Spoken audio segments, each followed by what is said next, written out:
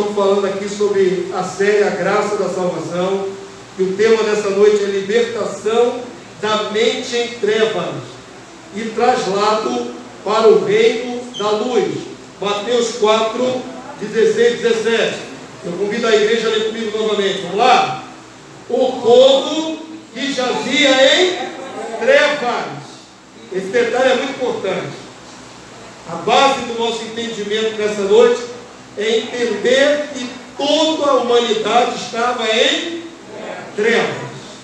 O povo que jazia em trevas viu grande luz. Diga assim: Jesus é a grande luz. E os que viviam na região e sombra da morte, resplandeceu-lhes a luz. Daí por diante, passou Jesus a pregar e a dizer: Arrependei-vos, porque está próximo ou acessível o reino dos céus, ou o reino de Deus.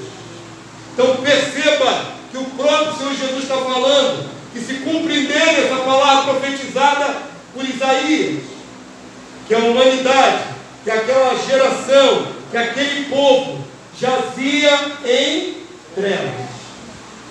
Queria que você entendesse isso de uma forma mais é, objetiva, tá certo? Não é uma metáfora, não é uma figura de linguagem, mas é essas trevas são um aspecto espiritual. Amém? Compreender isso? Então a graça da salvação nos alcança através de Jesus, e a primeira coisa que devemos entender é que todos nós estávamos em trevas. Que trevas são essas? Não é a treva da falta de luz solar, ou lunar, ou artificial. É uma treva que domina sobre a terra, e mais precisamente, essa treva, essa escuridade está na mente, no coração da humanidade por causa do pecado. A palavra de Deus diz que fomos destituídos da glória de Deus. O pecado é uma grande barreira para o homem natural. O homem natural não compreende Deus, não aceita Deus, não tange Deus. Pode dizer amém? A palavra de Deus diz que as coisas de Deus, as coisas espirituais, são para o homem comum loucura. E um dia eu também estive do outro lado, com muitos de vocês, se não todos.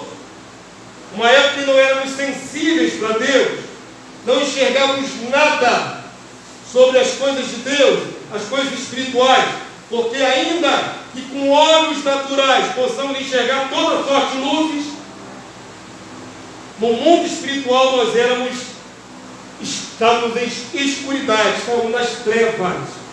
Nossos olhos não contemplavam a glória de Deus. É verdade, irmãos?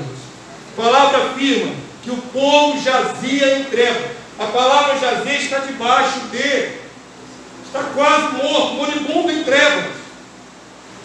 E aí vem a luz que é Jesus. Todo homem é nascido em treva nesse mundo. O pecado tem esse efeito de fazer uma barreira entre o homem e Deus. Volta para o Éden, você vai ver que a proximidade de Deus com o casal inicial antes da queda era de intimidade, de troca né, de informação. O pai vinha conversar com Adão, Adão recebia coisas do pai, e havia luz, não havia trevas. Amém? Está tendo uma novelinha agora, evangélica, Gênesis. O pessoal está falando bem, eu não vi. A única coisa que eu vi na internet é que a tal da fruta era azul.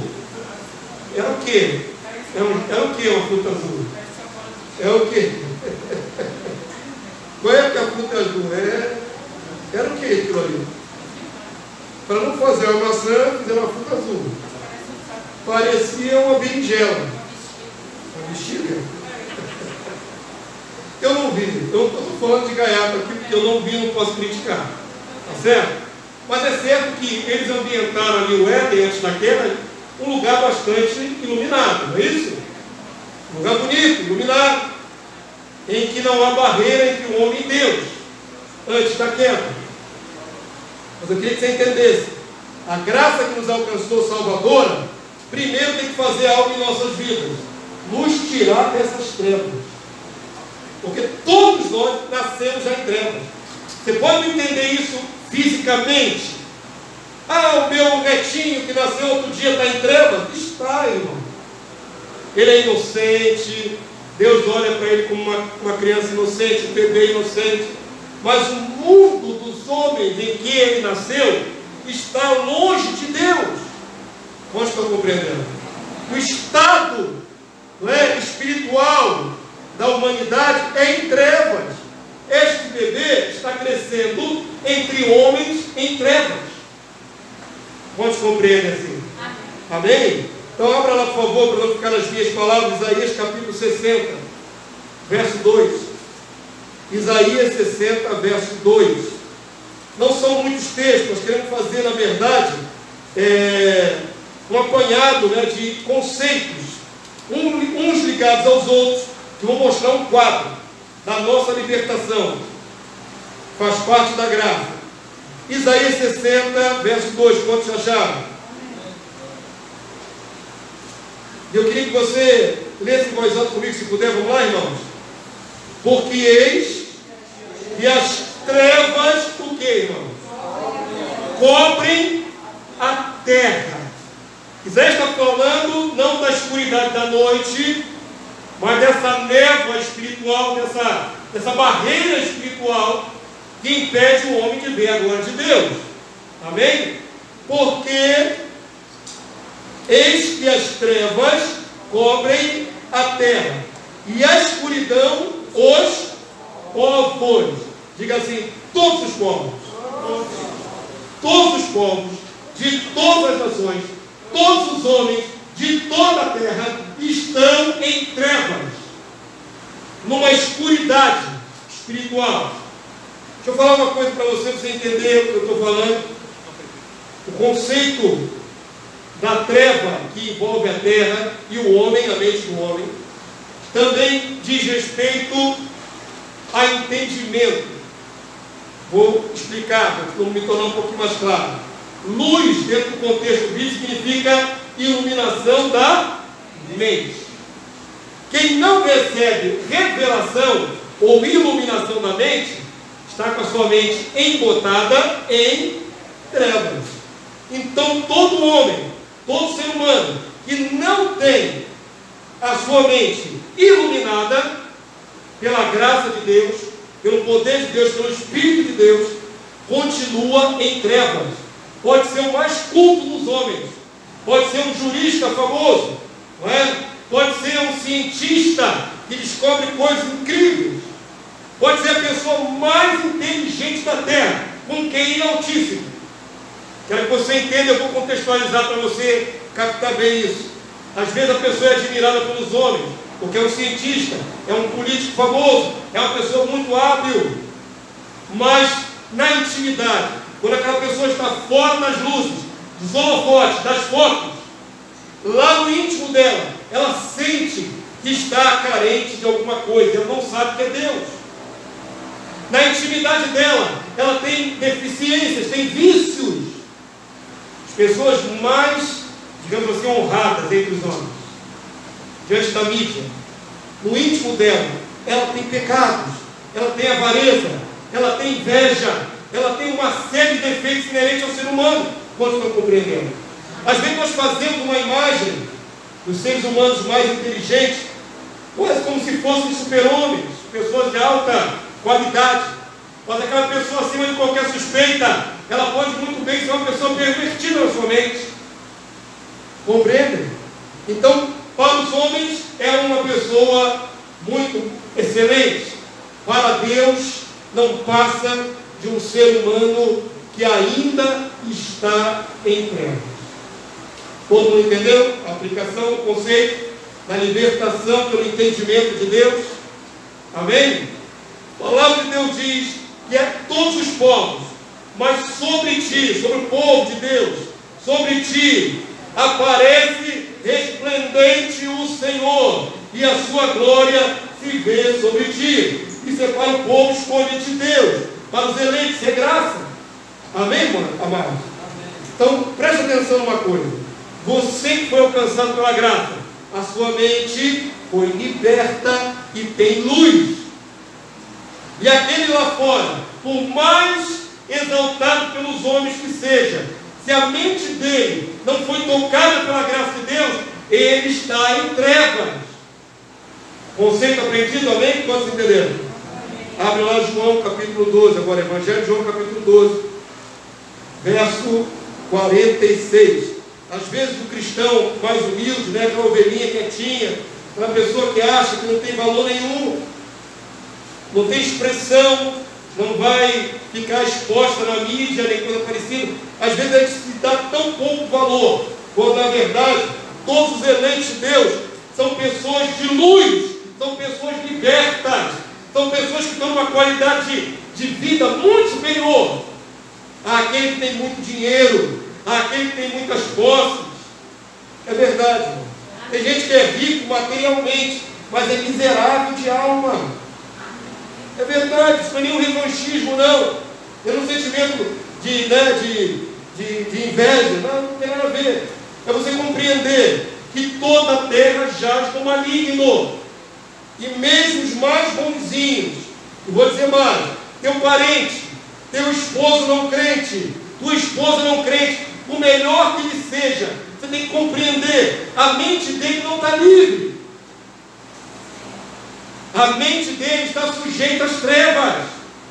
E os conceitos das trevas começam a prevalecer sobre toda a humanidade. Vou dar um exemplo. Como é que o conceito das trevas prevalece? Agora, recente, entrou na posse do mandato novo lá nos Estados Unidos, o presidente novo, né, o Biden, o Biden, o Biden não sei qual é a pronúncia. Biden. Entrou um presidente novo que todos acusam de ser satanista. O camarada tem histórico de abuso e pedofilia. Esse é o presidente dos Estados Unidos atual. Uma das primeiras atitudes dele no governo, entrou agora, essa semana, mandou hastear, junto com a bandeira americana, a bandeira LGBT. Quando é que você já viu isso num país de base cristã como os Estados Unidos? Que ao lado da bandeira americana, só uma bandeira colorida com um arco-íris para homenagear o LGBT. Não só ele, como a vice dele, a mulher que é vice dele, é ativista pró-LGBT. Agora preste atenção, quando eles hastiam a bandeira com, promovendo o homossexualismo, Deus olha lá do céu e vê em trevas. Posso entender?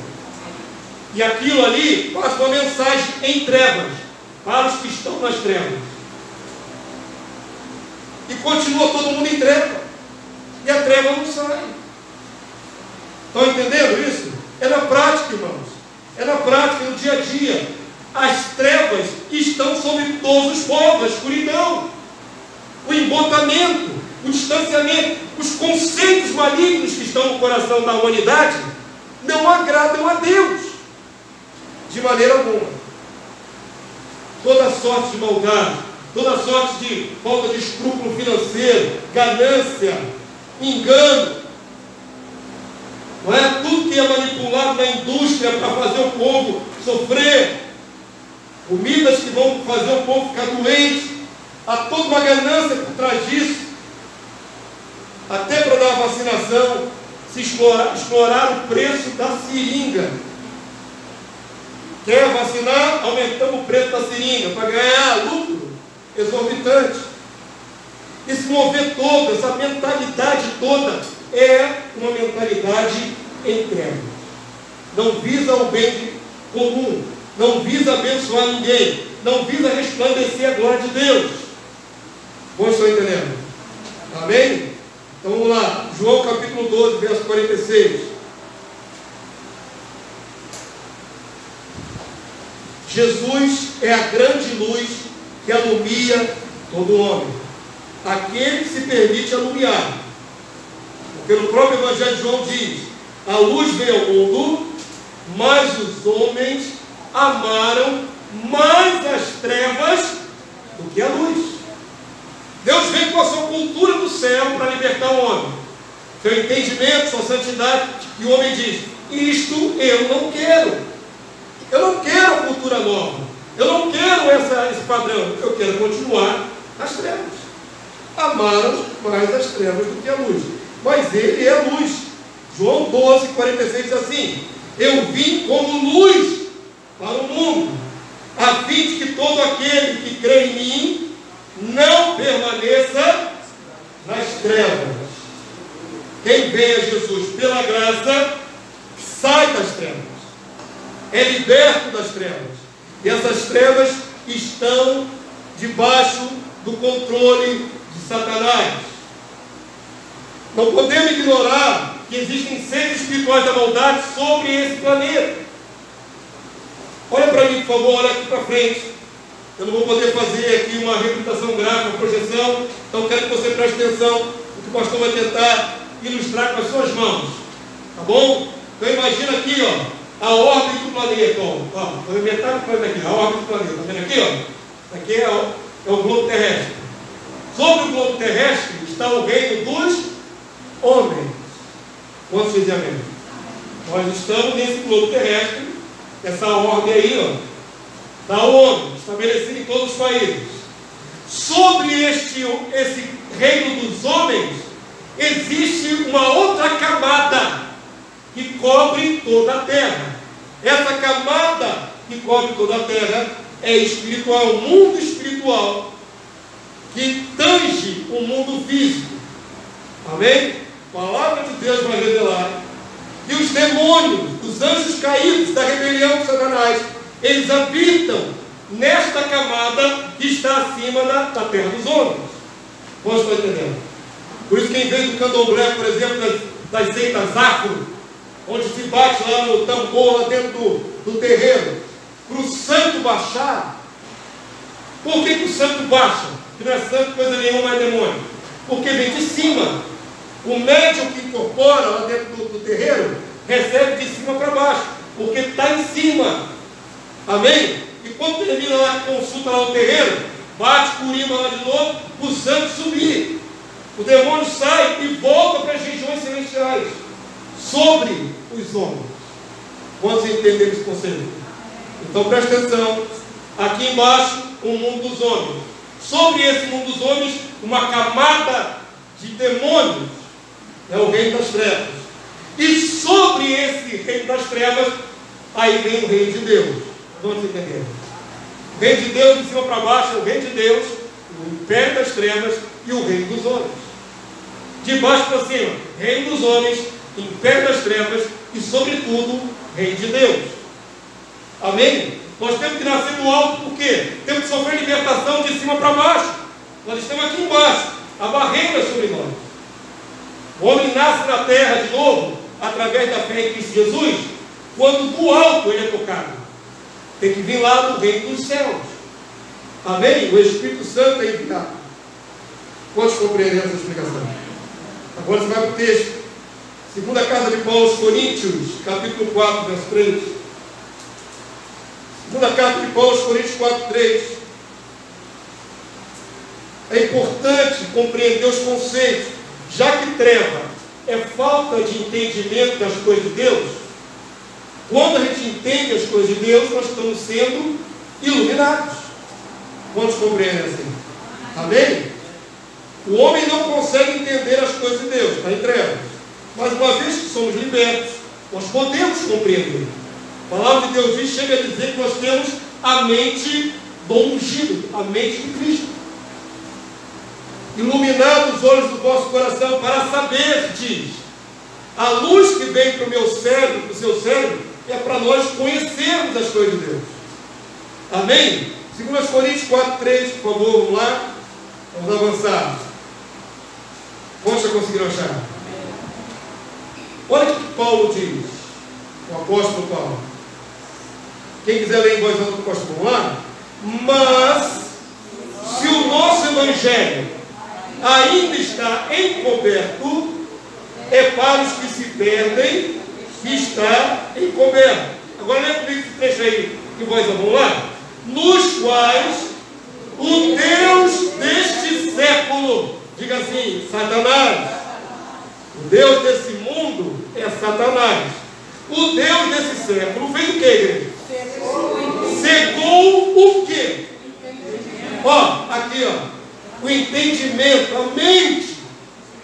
A mente cegou o entendimento dos incrédulos que não conseguem crer em Deus, para que lhes não resplandeça ou brilhe a luz do Evangelho da glória de Cristo, que é a imagem de Deus. Amém, amados de Deus? Compreende o contexto? Um dia eu estive em treva, completamente em treva. Achava que era livre, achava que podia fazer o que eu quisesse na vida. Até que a luz veio. E a luz foi penetrando as minhas trevas. E o entendimento da vontade de Deus fez sentido para mim. Então, aquela liberdade que eu achava que tinha no mundo, era na verdade um cativeiro de trevas. Me conduzia para a morte, para longe de Deus. Me conduzia para a destruição, para a bebida, para a prostituição. Só coisa ruim. Mas quando eu estava lá, eu achava que estava vivendo. Você pode falar para qualquer pessoa que não crê em Deus, que ela é cativa, e ela vai se espelhar e dizer, eu não. Normalmente ninguém aceita a ideia de que está debaixo de controle, porque cada homem acha que é dono de si mesmo.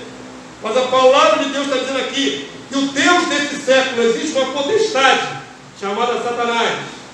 Secou o entendimento, tem poder de obscurecer a mente dos homens para que eles não compreendam, não recebam luz. Por isso, o mundo inteiro jaz no maligno. Olha para as pessoas que estão na sua casa, os seus parentes ainda não alcançados, olha para os seus filhos, olha para os seus netos e compreenda, enquanto o Evangelho não resplandecer na mente dele, não há liberdade. Quantos entenderam esse conselho? Não há liberdade, irmão. Ah, a pessoa está vivendo muito bem, está feliz da vida. Não está livre. Mas a pessoa está feliz do novo emprego. Não está livre. Ela constituiu, constituiu família, recentemente casou. Não está livre. Se nós olharmos para os nossos parentes, amigos, colegas de trabalho, vizinhos, e enxergarmos como Deus enxerga, nós vamos ver que eles precisam, carecem de uma chance de ser iluminados na sua mente. Precisam de luz. Pode estar rico e abastado, mas está em trevas. Amém? Quantos compreenderam? Por isso Paulo fala em Efésios 9, 12, não precisa abrir, um dos textos que a gente mais repete nessa igreja. Porque a nossa luta não é contra sangue e carne, seres humanos, e sim contra principados e potestades, contra os dominadores deste mundo tenebroso. Tenebroso, a palavra tenebroso é treva. A palavra de Paulo vem reforçar: o mundo é tenebroso. Ah, mas ele é lindo, pastor. E nessa época do ano, né, verão, está tão luminoso o sol. Está olhando o mundo natural.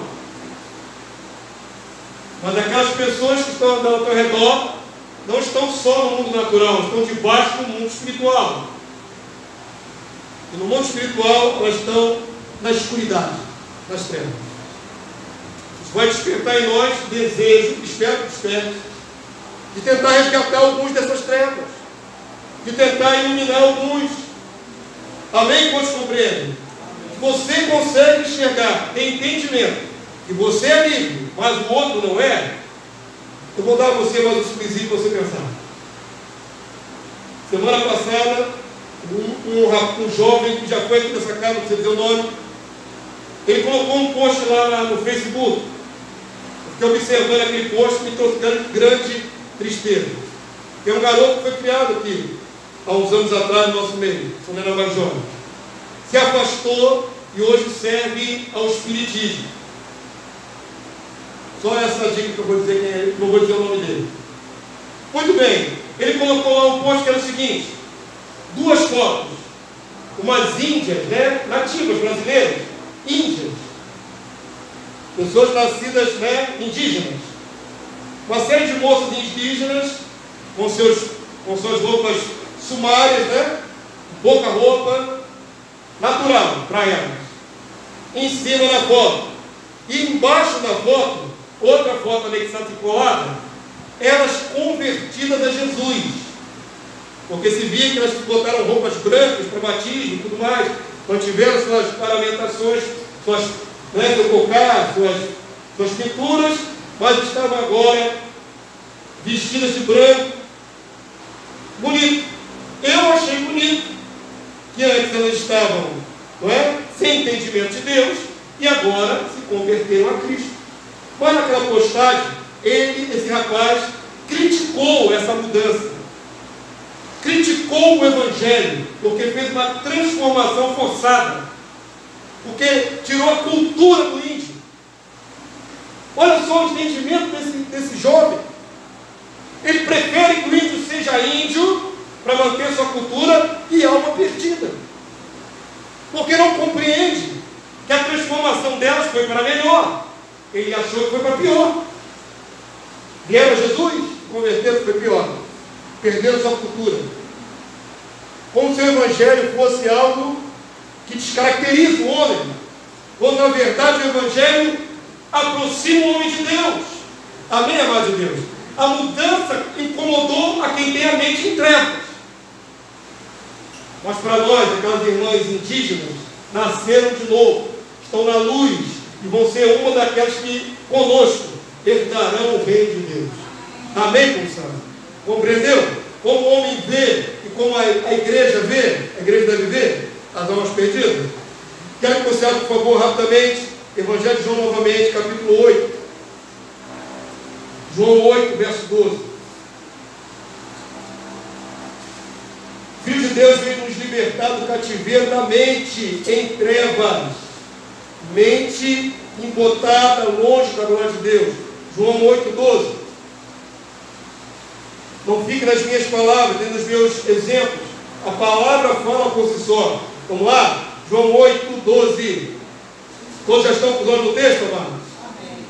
De novo lhes falava Jesus dizendo: Eu sou a luz do mundo. Quem me segue não andará nas trevas, pelo contrário, terá a luz da vida. Amém? Agora migra aí rapidinho para 2 Coríntios capítulo 4. Estava em João. Migra aí alguns livros. 2 Coríntios capítulo 4. Verso 6. Eu creio que a igreja entendeu já estamos chegando à reta final da mensagem. 2 Coríntios 4, 6. A pior coisa que há é alguém que está com a mente dominada pelas trevas desse mundo tenebroso. Porque ela, ela desconsidera as coisas de Deus. Estava pensando lá em casa, não pode haver cristão esquerdista. Não existe.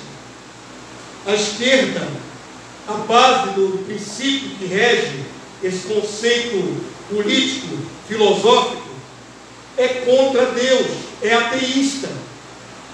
Então é uma contradição alguém dizer eu sou cristão e sou esquerda. E creio no comunismo. Isso é uma contradição. Na verdade, ele não está tá entendendo nem o que ele é.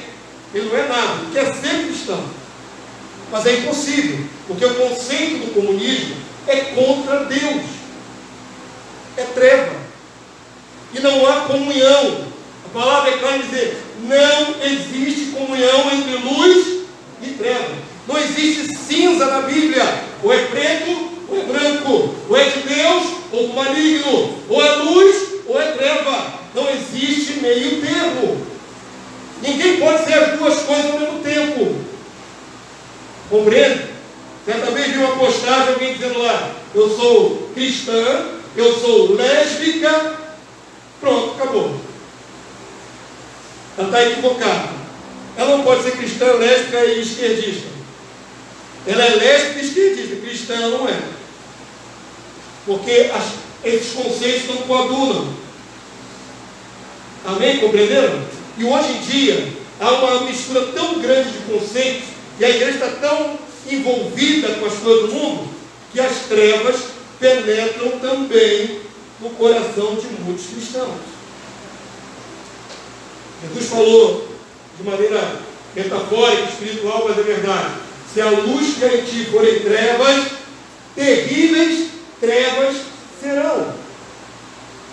Você não pode ter treva na sua vida, porque essa treva vai resplandecer, vai se manifestar. Mesmo que você tenha sido chamado para ser luz.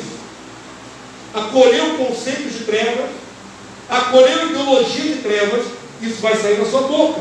Isso vai contaminar outras pessoas. Compreende, irmãos?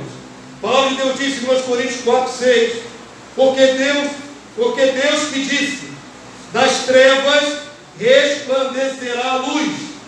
E Ele mesmo resplandeceu ou brilhou em nosso coração para a iluminação do conhecimento da glória de Deus na face de Cristo.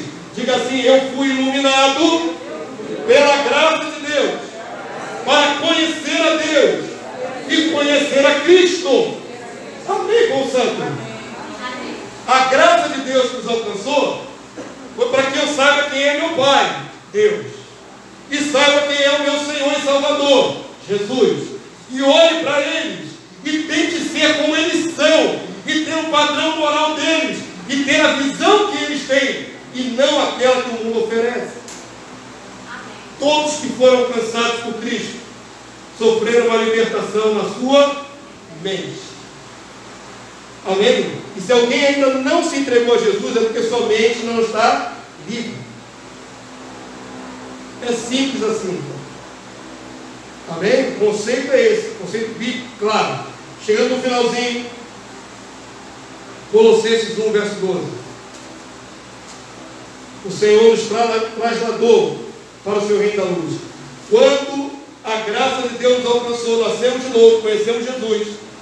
Eu e você que estavam debaixo de uma dominação do maligno, mudamos de cidadania. A palavra de Deus diz que todos nós éramos como os demais, filhos da desobediência, desagradando a Deus.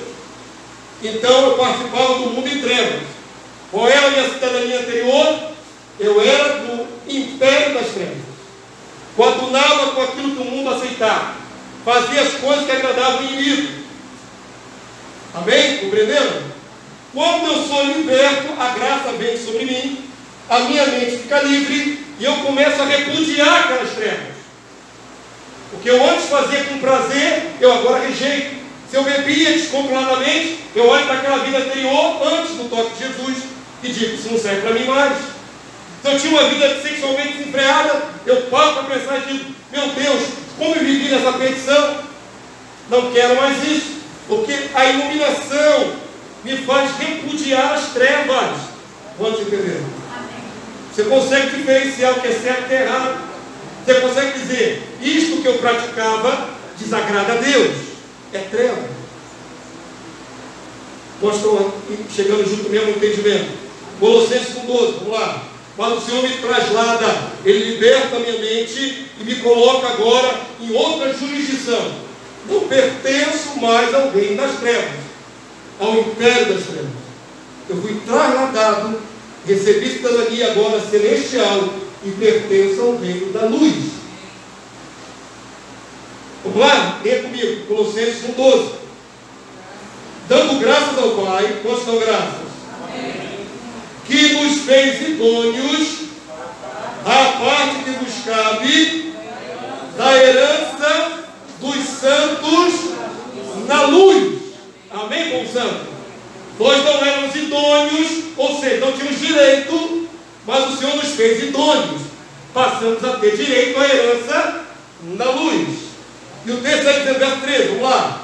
Ele nos libertou. Vê com vontade agora, irmão. Ele libertou do império das trevas e nos transportou para o reino do Filho do seu amor. Quantos pode dizer amém? Qual é a sua cidadania natural? Treva. O que Deus fez? Liberta sua mente e te joga na outra cidadania. Te dá o passaporte celeste. Passaporte do reino. Agora está carimbado aqui, você é do reino. o reino do Filho do seu amor, o reino de Cristo. Nós sofremos esse traslado, e a palavra de Deus diz no verso 14: no qual temos a redenção, a remissão dos nossos pecados. Efésios 5, verso 8. Está lá, terminando. Efésios 5, 8. Quantos acharam, digam glórias a Deus? Quantos acharam assim, obrigado, Senhor, pela tua graça, que me libertou das trevas. Amém? Nem todos nós sofremos uma libertação cabal, automática, como vemos. Jesus, pensa, pensa um pouquinho, por favor, no seu, na sua conversão. Peço que você lembre que eles sofreram uma mudança radical quando vieram a Cristo. Perceba que ainda tínhamos trevas, porque ainda somos pecadores. Vamos abandonando as práticas das trevas através do processo chamado santificação. Eu olho para uma coisa e digo, isso aqui não presta mais para mim, porque eu sou santo. Que desagrada a Deus. Aí vou largando. Não é isso? Já contei uma vez, vou voltar a falar que eu gostava antes de me converter de ver luta de boxe na televisão.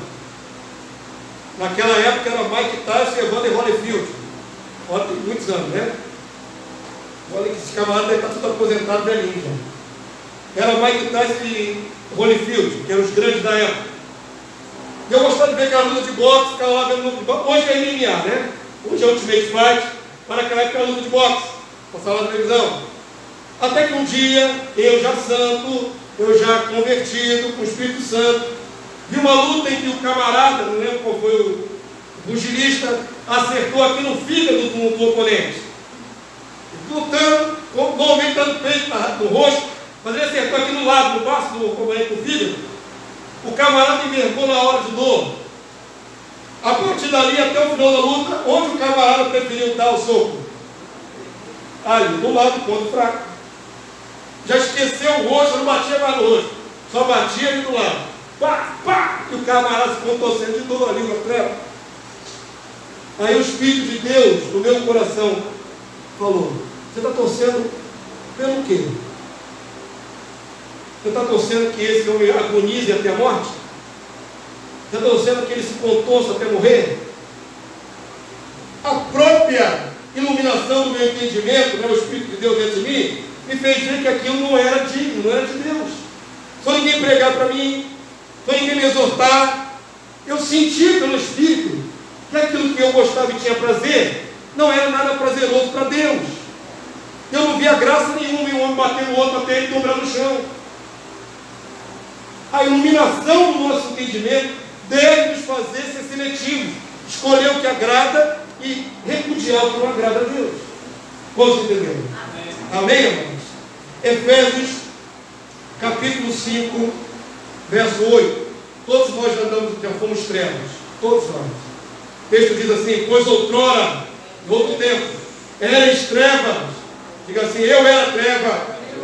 É verdade, irmão, não tenha medo de dizer isso, porque a transformação fica mais gloriosa ainda.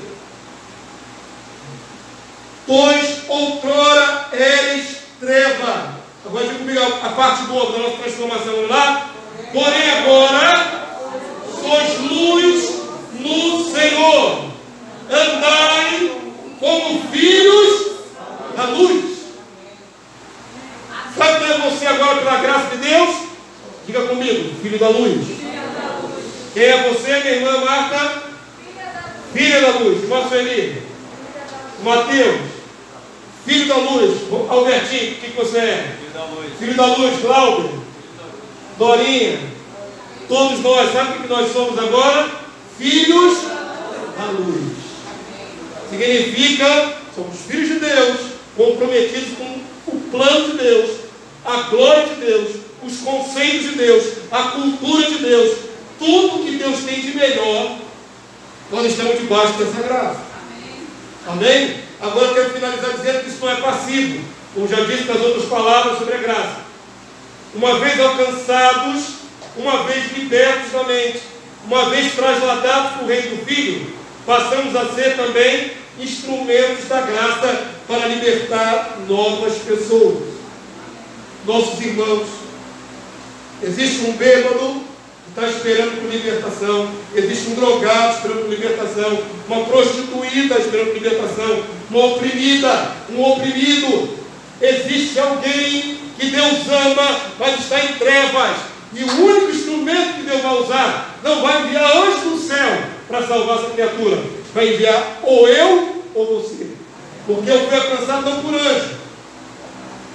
Deus teve que usar um ser humano para pregar o evangelho para esse homem. E todos fazem a mesma coisa. Porque aprove a Deus salvar pela loucura da pregação. Ninguém é iluminado sem que haja pregação. Compreende? Se ninguém abrir a boca, ninguém tem oportunidade de luz. Todo mundo entendeu? A única maneira de libertar a mente de alguém é pela palavra da verdade, que é luz. É a única maneira. Ah, mas eu estou orando com fulano também, oro, para de conversões. Mas alguém vai ter que falar o Evangelho para aquela pessoa. E pela palavra de Deus entrando no coração dele, o cidadão vai nascer de novo ou não. Mas pela palavra, pregada. Amém? Não é, não é pela intercessão. Não é conversões pela intercessão. Conversão vem pela ouvir a palavra de Deus e se converter, ser iluminado na sua mente. Todo mundo entendeu esse conceito? Então, finalizando, 1 de Pedro 2,9, fica de pé, vamos ler esse texto de pé. 1 Pedro 2,9. A graça nos impõe a missão de resplandecermos a luz no mundo em trevas. Você entendeu que o mundo todo está em trevas, que a mente das pessoas que você ama está em trevas, e que você é portador da luz, como filho da luz, deve lhe estimular a fazer o seu papel de iluminar alguém.